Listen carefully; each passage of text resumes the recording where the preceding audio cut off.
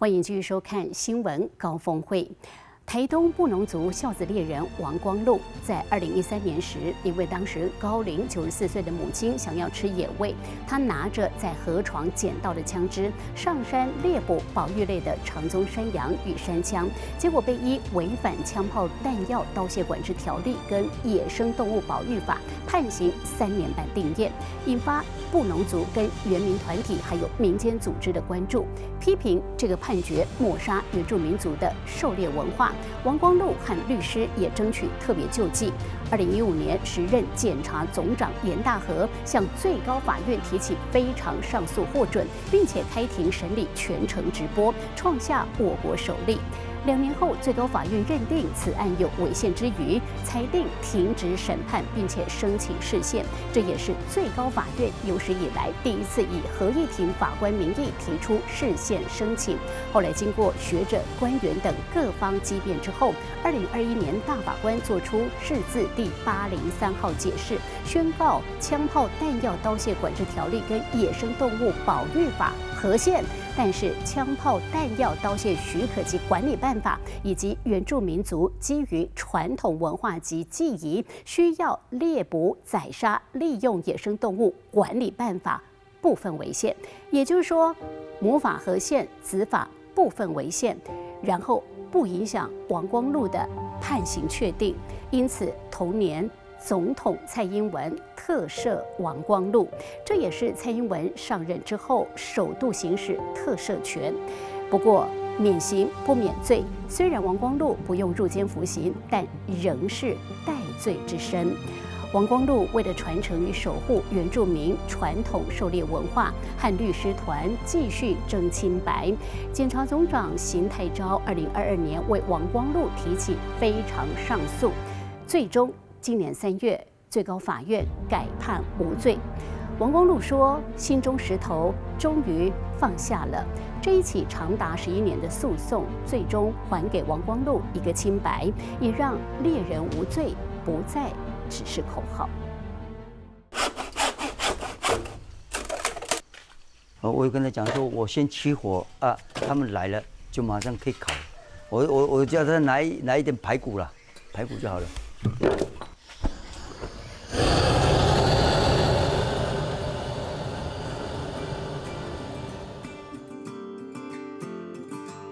爸爸很喜欢打猎，他们讲究不是说要打很多，打个一两只就回来了。啊，明天煮个汤，有汤可以吃，也可以喝就好了。我五六年级的时候，他就说：“哎，要不要去跟？”哎，既然我爸爸说要带我去，我就很好奇。我们不是说一气就是拿枪，他是叫我们先捡啊，捡了以后要背。就从这边开始训练出来的。我们狩猎不是说要自己吃，是要给大家一起吃，庆典要用的。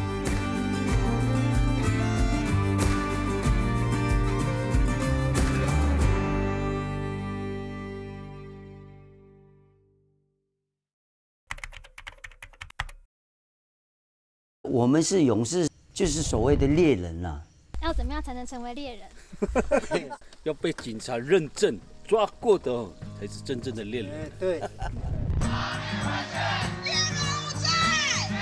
司法院前狼烟冉冉升起，他是来自台东海端乡龙泉部落的猎人王光禄。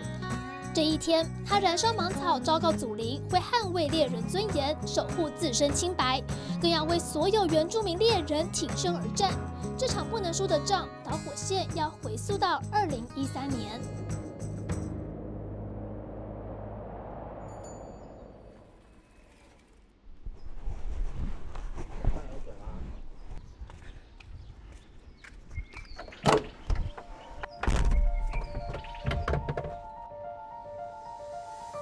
我有九十几岁的母亲，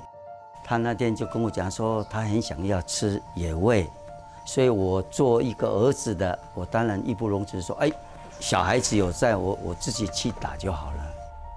我们那天就是也要从那边上去嘛，所谓的狩猎嘛，就是经过，哎，看到有一个石头缝，里面有藏个一一把一把枪。我就是很好奇嘛，我们就用那一把来打山羊跟山枪。但是因为那个时候我们这个对面那个山哦，有在锯木头的声音啊，所以有人报案，所有的派出所都跑过来这边是怎么样埋伏。好死不死，我们从山上下来就被拦下来了。啊，没有想到是说他跟我讲说啊，去那边做个笔录，写一写你就可以回来了。结果那个时候我一一去，靠手靠脚，在那边一个晚上哦。隔天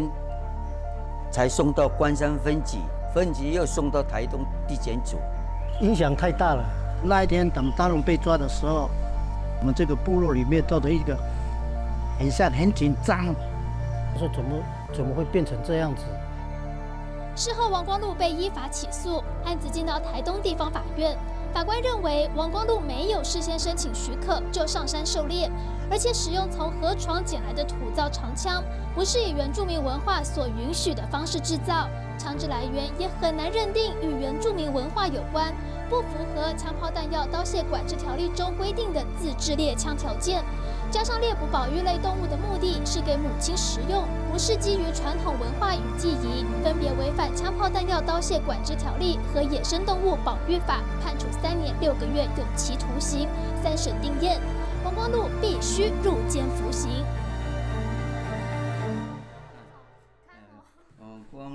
他的肌肉很好看哦，哎，哦，但不是这个鸡吧？不要说我自己了，整个家庭都好像被连累到，心情不是说很快乐了。我本人是就很快乐的人，发生这种事情哦，就觉得就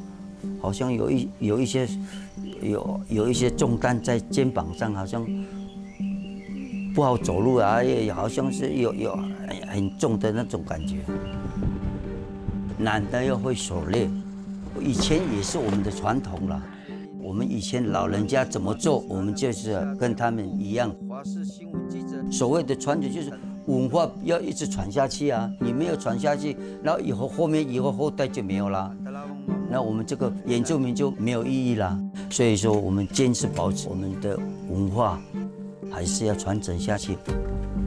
原住民从山林自然间学习与万物共生共处。对他们来说，狩猎不仅是为了食用，还有分享、记忆、节庆等用途，甚至与原住民传统文化息息相关。老一辈透过狩猎时的规范与禁忌，教导下一代，让年轻人懂得感恩土地与自然，也意味着文化传承。但原住民传统狩猎文化与现行法规碰撞冲突，猎人变犯人，引发争议与关注。族人和民间团体纷纷声援王光禄。二零一五年十二月，时任检察总长的严大和提起非常上诉，开启王光禄漫长的特别救济之路。二零二一年，大法官作出释字八零三号解释，仅认定应保障原住民狩猎传统文化，但猎捕保育类动物违法。不过，就在二零二一年五月二十号，时任总统蔡英文考量王光禄狩猎是为了给生病的家人食用。大法官也认为，狩猎自用属于原住民族传统文化范畴，所以特赦王光禄免刑，但不免罪。他还是被认定狩猎是有罪的，不止关于他自己的有罪判决，也关乎说后续的这些猎人，那他们到底能不能够？比较安心的去做狩猎的行为，而不是说可能又碰到像王光禄的情况，他还是会被判有罪。不是每个人都跟王光禄一样那么幸运，他其实就非常的阿萨利的就决定说，我们要继续来走这个非常上诉的程序。这是个法律原则的问题，因为这个个案还有以后很多的案件，所以我们一定要做经由法律来做出一个原则，让以后的案件多所遵循啊。最高检察署呢，基于宪法法院和普通法院的分权的优位原则。我们认为应该以和宪解释为优先啊，同时啊，司法也应该要与时俱进，进行判决的时候，对于立法者的争议啊，我们也必须探求，来符合社会的脉动。所以我们就本于公益代表人的立场，对这个违法但确定的判决，提出了非常上诉。二零二二年，检察总长邢泰昭再为王光禄提非常上诉，两年后，最高法院改判王光禄无罪定验。你看我那个律师啊，专程跑回来送我这个判决呢。那个时候听到说无罪，我心情又更不一样了。呃，那个时候当然了，是男人是不会不会随便掉眼泪，但是里面就是已经在滴了了，但是不会被人家看到了，在心情上非常的高兴。刚好我妈妈不在嘛，刚好还有相片，还有我那人刚好都有相片，我就直接说，律师把我的罪变成无罪了，也要感谢你们。妈妈还有我的内人，你们也不要难过了，因为我现在已经变成无罪了，所以你们可以放心了。这样，我想这个最直接的意义，其实就是让王光禄大哥恢复他的清白。他从一个英雄变成中华民国法律下的这个罪人，其实是一个非常严重的冤屈了。最高法院在这次案子里面一个很大的突破，我们认为他有去正确理解原住民狩猎的文化，在这个前提之下，他去解释自制猎枪并不以原住民自行制造为必要，也没有所谓过去法院说必须要依他的文化去允许制造的方式，没有，基本上我们就是保障原住民持有枪支去狩猎，当然在这样的前提之下，来源不管是谁，基本上这个狩猎的原住民持枪的权利是被保护的。那第二个就是说，关于保育类动物的部分，他也说了，在我们原民狩猎文化并没有办法去事先挑选动物的情况下，你你你将它限制在这个保育类，其实是跟它文化是相违背的。最高法院法官认为，王光禄猎到的保育类动物长鬃山羊和山枪是供家人食用，属于非营利目的，且是基于传统文化之需要，所以不受《野生动物保育法》第十八条第一项限制，认定无罪。这个判决更大的意义是在于扭转了过去长期以来法院对原住民狩猎的一些错误的法律见解。过去这些错误的法律见解，其实是会让很多原住民担心会被国家追诉嘛，会坐牢，所以他们可能就不太敢上山去从事狩猎活动。这样子一个判决的结果，其实是可以让未来的更多的原住民年轻人愿意去继续从事狩猎的这个活动，去传承好不容易延续几千年的这样子一个狩猎文化了。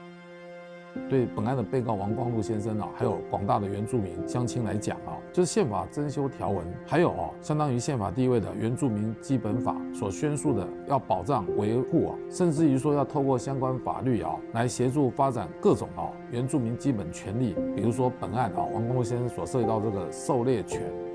这个就不会只是个口号，也不是只有宣示性的效果，而是透过法律啊跟立法，来真正的得到落实跟保障。从司法诉讼到特殊救济，黄光禄走了十一年，才终于有了完美据点。但还会不会有下一个王光禄呢？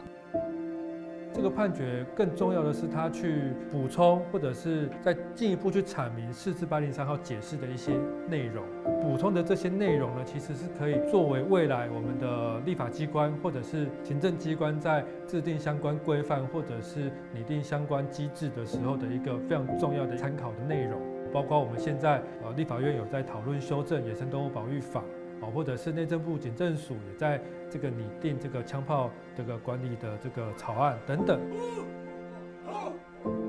不过，律师也认为很难透过单一判决就能一百八十度扭转现况。至少，最高法院法官对于案件的解释与论理方式，可以让之后的法院遇到类似案件时作为参考与标杆。另外，判决中也能看见，法院更愿意从原住民的角度与观点，而不是以其他民族的角色来看待狩猎文化。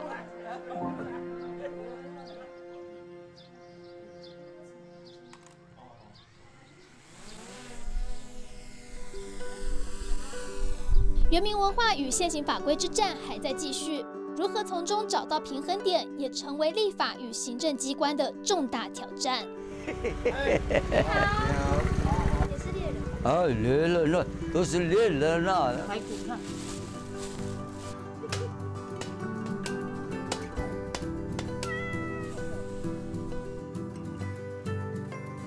和亲朋好友坐在田边的公寮里，一边聊天，一边看着绿油油的稻田，享受早晨时光。这种轻松惬意、无罪一身轻的日子，王光禄等了十一年，幸好最终让他盼来了迟到的清白。